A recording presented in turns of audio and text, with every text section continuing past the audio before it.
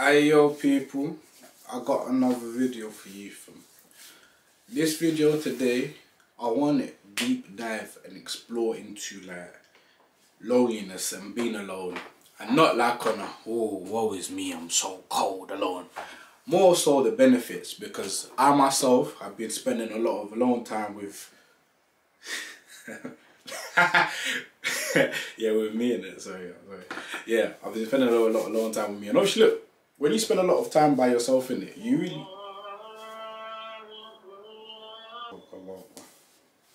It's a sign you're never truly alone. You've always got God. Very soon as I finish this, yeah. Yeah, I've been spending a, a lot of alone time in it, and I've been learning a lot about myself and people and society in general oddly enough. But let me explain how. It's gonna it might be a bit messy. Recently I took like a little hiatus in it. Like I went to I booked an Airbnb out somewhere in the Midlands and I stayed for like three nights and I was just by myself chilling. No social media, none of that. Just alone with my mind and just getting to know myself and just thinking my thoughts. Do you get what I mean? Like I've been kind of spending more alone time naturally since I graduated uni, obviously, because I'm not in any kind of institution for the first time in my life. Alhamdulillah. Yeah. so I don't have to be around people I don't like. I don't have to be people I don't want to be around. I have to. I don't have to be anywhere in life that I don't want to be. Do you get? That's how I'm living my life, innit? So naturally, I'm alone a lot more. If I want to go see someone, that's cool. I'll contact them. I'll go see them. But that's just one day. I'm not. There's. There's no way I'm linking having two different outings in one week and maybe once a week. Do you know what I mean? So inevitably, I'm spending more time myself. I've taken up the habit of meditating, so that obviously that's helped as well. But basically, what I've been learning, yeah, is is very hard to describe unless you're kind of going through it. But a lot of the thoughts in your head are not yours, and a lot of the behaviors you take are not because you want to take them. It's because of like a framework that's been in your mind. And I'll give you a perfect example in it. Like ever since I've just been with myself more, like I just care a lot less about certain things in it. Like when I go to the gym, I do me. Like you know, I'm saying you. If you ever see me in the gym, I pace up and down a bit of a cycle. Like I'm, like if I'm playing a tune, like I'm, I'm in it. Like I don't care. Like I'm, I'm me. I'm doing my thing. Do you get what I mean? And it's it's very hard to describe, but there's a lot of barriers and a lot of thoughts placed in your mind as growing up and it's just natural man it's natural like I went secondary school in London like like there's a lot of things like, like going to secondary school is just basically we're just all a bunch of little kids and we're all insecure and we've all got issues. A lot of us have got deep rooted issues and we're just making fun of each other and teasing each other to just so we can all fit in in it that's basically what secondary school is in like a sentence. So when that goes through, a lot of people, like a lot of things happen to a lot of different people. Some people go in, they come out better. Some people go on, they come out worse. Some people, you know I mean, they just, they stay away from it when they just do their own thing, innit? I myself, I believe I've experienced both sides of it, innit? Like when I first came to secondary school, I came late, innit? I didn't actually come when everyone else started. I came like two weeks after, so you know I mean. The first two weeks is probably when everyone makes friends. I don't know. I wasn't there, so so obviously when I first came in, like I was chilling with like year 11s in it when I was in year seven. That's what I did for a good portion of year seven. So I feel that was good for my development because I was spending time with OGs, but then obviously as time progressed, I got closer to my year and whatnot, and yeah, I graduated as a cool kid. but basically, basically, basically, what I've realized is you just got all these frameworks of what I can do and what I can't do. Is basically what I'm trying to say. And I realised this a lot when I went to uni as well. When I left London and I went to the Midlands, I met all these different types of people that were from London. It was crazy. I had all these different ideas. Like 30 minutes wasn't it was a short walk to them. It was different ideas. And I'm emphasizing on loneliness, but it kind of happens when you just spend time in different environments. You kind of see different mindsets and different expectations. But ultimately, you realize that you've got a lot of limiting beliefs. And some of them are not that deep in it. Some of them are good. Like for example, like you can't catch me with dry lips anymore unless I've got them right now because they used to avoid me in secondary school. But fixed up sharp now. What I've learned from spending more alone time with myself is I just find that you kinda like if you're a cocoon like you unravel all these different parts of your personality, isn't it? You kind of like shed all the limiting beliefs or the thoughts of other people that were in your head, and you kind of like dive deep into your true self. And the way I say that is, you just what you're more interested in, you lean towards. Like if you were ever interested in something because like people interested in it or someone convinced you that it was interesting, you start to realize mm, I don't really care about that, or you you know what I mean. You don't really care about watching other people's lives. You don't really care about like a perfect example is like, right, the more time I spend alone, anytime I come back to social media, I just realize how much I dislike social media. Like I can't, like it's, it's it, it just doesn't it doesn't work. It doesn't you know probably because all you see on social media is other people's thoughts, other people's lives, other people's this and we naturally as human beings we're beings of comparison, innit?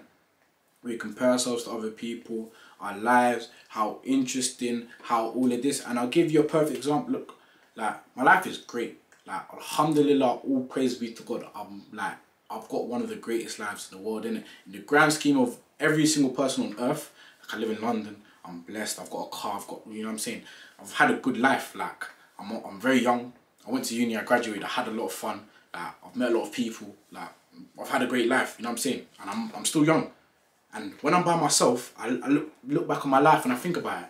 And I'm so grateful. I'm so like I'm honestly from the bottom of my heart, I'm so grateful to have food, I'm so grateful to have shelter. I'm so grateful for the simple things, in it. And I'm happy.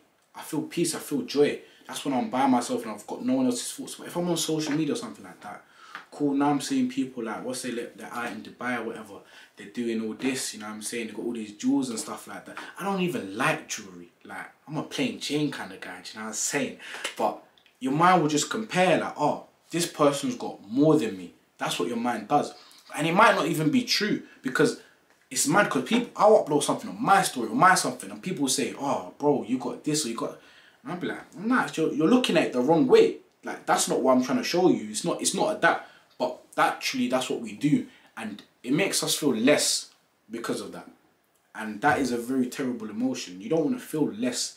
And it's not even truly less because I realize when I come off social media, I find that joy, I find that gratitude again because Alhamdulillah, my life is good, my life is blessed. I don't have to worry about any like of the essentials anymore, any of the necessities anymore. There's a point in my life where I was probably just living in stress of simple things that um, I don't even know if I actually had to, but that was my mindset. Maybe it was because of social media. I was thinking I was chasing something that I didn't have. Do you know what I mean?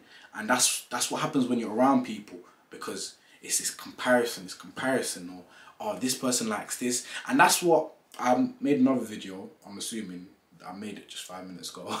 I made another video talking about, a video about having dream cars. And the person said you shouldn't have dream cars. And it's because the people you're around, like, have will lead you to believe that this is the thing that we want. Do you get what I mean? But when you're alone, you don't think like that. Like, a better way to uh, put it is like, cool. I find a bunch of secondary school kids right now, easy, like I go out in the street, I see a bunch of secondary school kids, and let's say it's the weekend and they're out in the shopping centre, they're all probably dressed very similar. If we're in London, they're all probably wearing Nike tracksuits or something adjacent. Why? If one of them's got more money, they've probably got a Gucci pouch. Why? Because we all think the same and we all got this idea of what we think is. And that person probably probably acts or treats like, you know what I mean? Thinks he's better because he's got the better clothes. But it's all bullshit. It's not real. Do you get what I mean? And now one of the kids is there is all feeling insecure because he hasn't got peas. His parents hasn't got peas. He hasn't got bread. But he feel like he needs this Nike trackie or this Gucci pouch to feel better or to feel like he's. Do you know what I'm saying? There's there's a gap or void he's trying to fill, and he's trying to fill it with material items. But it doesn't work like that. Do you get what I mean? It's not even probably what he wants. Like, and when you're in that cycle, you're wasting time, and it's because look, I've been there. Like 14, 15, 16, yeah, I definitely wanted all of these uh, designers and all this and rare tear tear. I'm still gonna buy them. I don't need them now. Do you get what I mean? I don't need them. It's not what's gonna fulfill me. Now I look. Um, it's more of like, for example, if I can make a good YouTube video. If I make a good YouTube video, someone message like, bro, bro, that video you made was very helpful. That does it for me. Like, right, if I have a good days of work, I go to the gym, I wake up early, I meditate, I pray with my five prayers that makes me feel good. And I could have done all of this at any time in my life, but I just didn't know. And I was confused and I didn't know it's because I was around different people. My, my views were skewed of what I thought was cool. And it's like, right, if I put on this uh, Canada Goose jacket, guys are telling me they rate me now. I'm thinking, right, I gotta get more of this. It Doesn't it's, it's not it's not it's not true validation. It won't really fulfill you in it.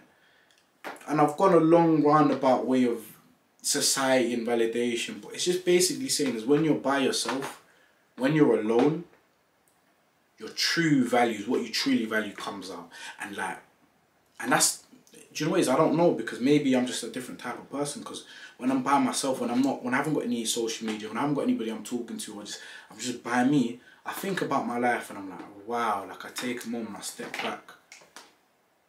I don't need anymore I've I've I've got it I've done it like I just want to do better and grow and do better for my family that's it that's what makes you know what I'm saying I don't need like you know I'm saying if you notice, I wear plain shirt all the time. I made this. I don't, I don't really care. Like if I'm going out, I'll buy something nice because you know I'm saying at the end of the day, we're social beings. We gotta gotta flex sometimes, but it's not. I don't need to. Like I could go there with a plain shirt. I'll, this is a shirt from Primark. Like it's it's three pound. Like I feel like I look good in it. That's all that matters. And do you know what it is? It's another thing as well. And this is more so for girls than it is for guys. But it's that comparison, and I've seen it, and it's so sad. I'll be honest. Like, you ever seen a girl and then she's looking at someone else on Instagram, and she wants to look like that other person got that, and it's like, no, man. Look in the mirror. Just love yourself, man. I swear. Sometimes you gotta spend that time alone, by yourself, just so you can reset everything, man. Because look, at the end of the day, like, look in the mirror. That's all you've got. You've got yourself in it. So you've got to love yourself, and you've got to take care of yourself, and you've got to want to grow like a lot of people are chasing things that they think will make them happy, that once they get will make them sad. Think about that. And they don't know that because why? They're spending time with a group of people who value something and it's and it's it's based on rubbish, based on nonsense, based on music videos. Guys are chasing something based on music videos and Instagram. That's what we live in today and that's very sad man.